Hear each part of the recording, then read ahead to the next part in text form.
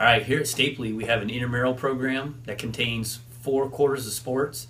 We have a variety of sports such as basketball, volleyball, flag football, uh, cross country, wrestling.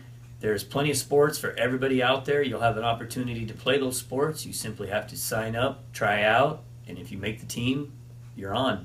Um, further information comes out as we go throughout the school year, so stay tuned.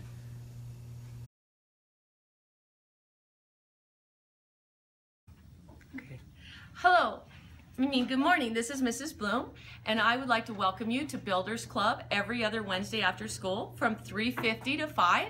If you need the dates, please go to Mrs. Makel's calendar on her webpage. You click Builders Club, and then you click uh, on the calendar and that will show you what we are doing. We have a lot of fun and exciting things coming up like Feed My Starving Children, uh, going into um, an assisted care home where the elderly are there and we can maybe play bingo and have some lunch or read to them. And we have a lot of other exciting things too, guys. Come join us, the Builders Club.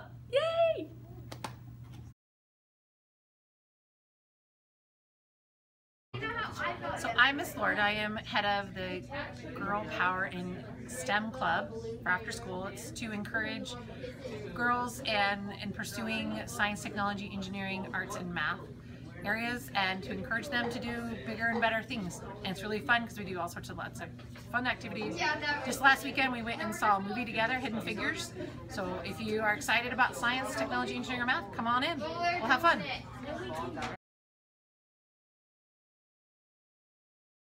The purpose of your book is to help create a class memory or make a historical document for the class year. We also have a lot of fun and we do pizza parties while we work and we just showcase all the memories that you guys make throughout the year.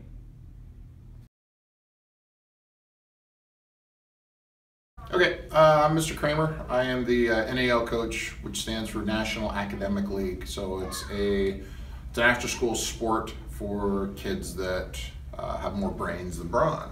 So uh, they're going to do a lot of trivia questions. Uh, there's even a presentation team, and uh, they get scored based off of that. So.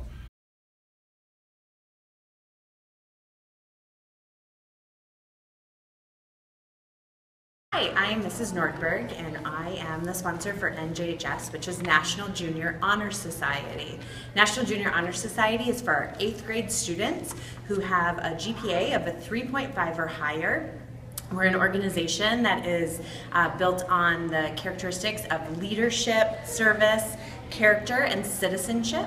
And with this, we volunteer, do service acts around the school and the community, and um, use that to benefit others. If you're interested, come see me. Hi, my name is Miss Stiles. I'm the service learning coach, and I just want to talk to you a little bit about service learning. Um, we want you to get active and involved in the community, so we do encourage you to participate in service learning. Hopefully you've all seen this flyer received this week. Um, this gives you some a little bit of information about the program. If you want to participate in service learning, you need to fill out an application. You can pick them up from me in room 148. Once I've approved the application, I will give you a time card. You'll record the hours of that you've done your service and then turn it back into me. At the end of the year, you'll do a reflection to um, talk to people about what you actually did.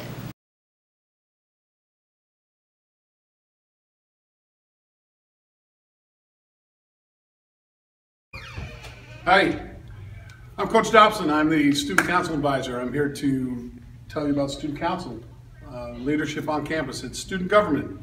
And um, I think the best way to understand what Student Council does uh, is kind of let my kids tell you about what it does. They're involved, they run everything, design everything, and um, create a lot of stuff for Spirit and, and, and a lot of different things. So without any further ado, I'm going to turn it over to them.